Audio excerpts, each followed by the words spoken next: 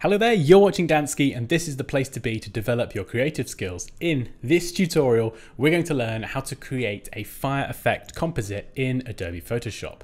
So let's jump into it. You can see on screen an example of what we're going to be creating, taking a subject and using several different images to combine them together to just create this awesome man on fire effect. So we've got an image of a man, or our subject, we have some fire and some flames and some molten lava. So anything fire related is all good for this tutorial. And I've also created a new document, 2000 pixels wide and 2000 pixels high. And I'm going to set the background to black by selecting the paint bucket tool. And from the color picker, just pick black from the very bottom left corner and then left click anywhere on the canvas to fill it with that color. Next, what we're going to do is grab all of our images and get them into our main document. So we can go up to select, down to all, and you'll see the marching ants appear, and we can then go to edit, copy, switch back over to our main tutorial PSD and go edit and paste. And you can see that's a very high res image there. So let's just go ahead and quickly do the same for all of those images and we can scale them down in a moment. So let's just go through each of these images. We'll zoom out there and go to edit, free transform. And the shortcut for that is command or control T. And we can hold shift and just left click and drag from one of the corners and scale this down. And we'll put him right in the center and just bring him down a bit. It doesn't matter that this photo, his head is cut off, because as you saw in the example, we're going to be replacing the top of his head with fire and flames. So again, we're just going to do that same edit free transform option and just scale down our fire. And the same lastly for our molten lava. And in fact, we can hide all of the fire layers for now. We're going to start work on our subject first. Now, if you have a subject against a lighter background, you may want to spend a bit more time cutting them out, and I've got lots of other videos linked below in the Photoshop playlist if you're looking to cut out a subject from a background. However, for this tutorial, if your subject is on a dark background, because we're using a black background as well, it's going to make it all the more easier. So actually, for this step, I can add a layer mask, and in fact, I'm just going to double click and name all of these layers just so I don't get confused. So let's call this fire and we'll call this molten lava. So with the subject selected, I'm going to click on the layer mask and just select black as my foreground color and the brush tool and we can pick one of Photoshop's nice default feathered brushes here. And as I say, because the subject is on a dark-ish background and we're working with a black background, we can just feather this away nice and quickly. And we don't need to finesse the edge too much because what we're going to be doing is adding fire flames and a whole bunch of chaos. So any kind of imperfections in cutting this out isn't going to be as noticeable in this composition. So let's just quickly go around and soften that edge. And of course, please do take a lot more time when, uh, when you're doing your one. Okay, so there we go. We've very, very quickly just separated our subject onto the background and you can hold shift and left click on the mask to see the original image or you can drag the mask to the bin if you want to get rid of it and start again. Okay, so we've got our subject on the black background. Next, we're going to go to the adjustments icon from the bottom of the layers panel and go to gradient map. And if we click anywhere on the gradient slider, and we can just pick one of the defaults at the top. We're going to be using red, so this is perfect. And we're going to double click on the green here and just pick a yellow, nice bright, vibrant yellow. So we've got red through to yellow. And then what we can do is set this gradient map to overlay. And there we go. So we've kind of applied a very fire-esque kind of glow to our subject. Now we'll leave that set at 100% for now, but we might tone that down a bit later on.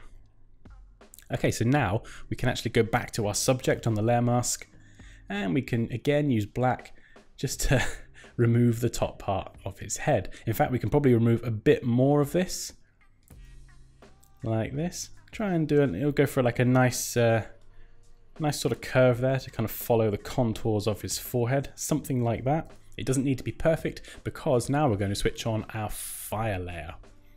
And this is pretty, uh, pretty crazy. So again, we'll go to edit, free transform, hold shift and scale this down. And we now need to line up the flames with where we want them to appear on his head. So I think probably about here. So we can double click to set that transformation once we're happy with the size. And if we add a layer mask to this, in fact, we could hold Alt when we add our layer mask and it will hide everything, which is really helpful. And then of course we can use white and click OK. And if you're wondering what this Ginger is talking about with brushes and layer masks, then I'll link a video up, up somewhere on the screen now that's all about working with masks. And I definitely recommend it because it's just so helpful.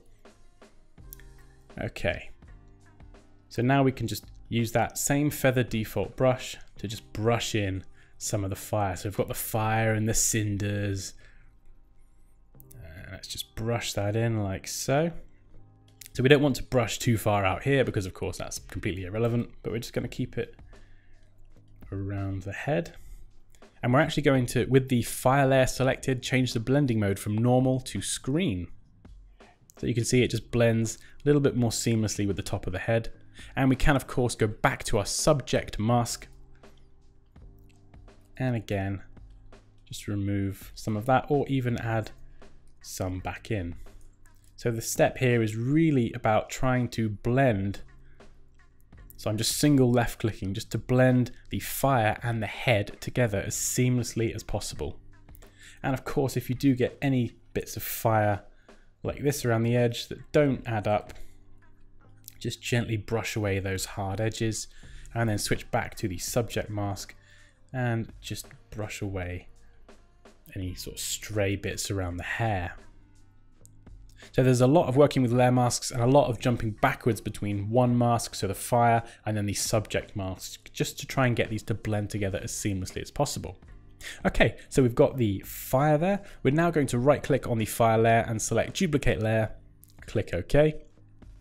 And we'll drag this one underneath and we'll go and call this layer fire face. And we can delete the layer mask actually. And if we hide our other fire layer, because what we're going to do is use some of the kind of tips of the flames and the cinders to add some texture to the face. So again, if we hold Alt and left click on the layer mask icon, and with white as our foreground color and our soft feathered brush, we're going to brush in some texture over the face there. If I zoom in a bit more. There we go. Now it's probably a good time for me to select that gradient map and we'll drop that opacity down. So we can go back to zero and slowly bring this up. So I think 100% is probably a little bit too strong. But if we go for something around 60% for now. And of course I don't want to hide all of the eyes completely. There we go. So just brushing in some extra detail. And we can try switching up the blending mode just to see what other kind of effects that we can create. So I think we'll stick with screen here. So we've got our main fire layer for the head. And then we've got some extra fire detail on the face. Now we're going to switch on our molten lava layer. And we'll probably scale this down a little bit, I think. And again, we can add a layer mask by holding Alt and left clicking and it will hide everything.